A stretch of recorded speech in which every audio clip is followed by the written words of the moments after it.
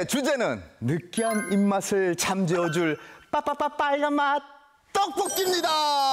와우. 너는 새빨간색 윤기가 흐르지 하지만 그 속에는 쫄깃한 하얀 떡 어, 쫄깃할 것 같아. 잊으면 안돼 라면 살이.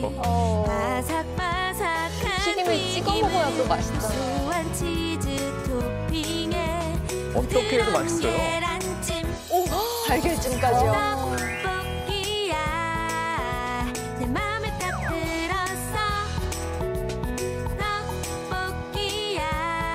매콤하겠어요. 엉덩이 불나도 좋아 나를 위로한 음식에서 작년에 설문조사를 했는데요. 1위가 바로 떡볶이가 됐다고 합니다. 우 soul food 떡볶이 그 종류도 다양하죠. 뭐 부산 떡볶이는 클래스부터 남다르다 아닌겨. 끝도 없이 펼쳐진 철판 위에서 너풀너풀 춤을 추니 그 자태 한번 곱다 고와. 막걸리와 쌀뜨물로 숙성시켜 깊은 맛을 더했다. 부산 기장시장을 평정한 가래떡 떡볶이. 아니 여기가 방앗간이야 떡볶이집이야 매일 아침 직접 굽는 쫄깃한 가래떡과 매콤 달달한 양념장의 환상적인 티키타카. 고소한 백배 감자 샐러드를 얹어낸 오. 방앗간 떡볶이입니다. 무가 자라면 떡볶이가 된다? 쫄깃한 쌀떡 사이로 오도독 씹히는 무채가 별미. 오. 무의 수분이 어우러져 자연 단맛을 그대로 품은 양념장 맛이 히트다 히트. 무의 아, 안 창조한. 무떡볶이 떡볶이 세계에 꼬들꼬들한 라면이 빠질 수 없죠.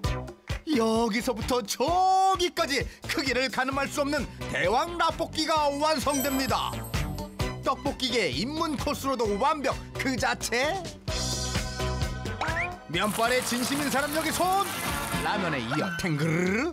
반짝 매력의 잡채가 불시착했으니 지구상에서 존재하는 떡볶이 중에서 독보적인 매력 뿜뿜! 잡채 떡볶이! 우와.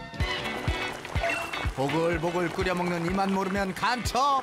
배우 조인성도 학교종이 울리면 어김없이 달려가게끔 만든 추억의 즉석 떡볶이인데요. 입맛의 세대 차이를 허물게 안성맞춤. 떡볶이에서 피자 맛이 난다. 치즈에 여 케첩을 휘리릭 뿌려 돌판 위에서 지글지글 끓여낸 추억의 돌판 피자 떡볶이도 있고요 유니크함이 저세상 버전. 기름에 바삭하게 튀겨낸 보리새우가 꿀케미를 자랑하는 오, 일명 맛있겠네요. 새우깡 떡볶이. 맛있는 거 위에 또 맛있는 거. 떡볶이와 삼겹살 두 거물을 한꺼번에 맛볼 수 있는? 삼겹살 떡볶이도 있습니다. 뭐든 떡볶이를 싹. 그러시기란 이색적이죠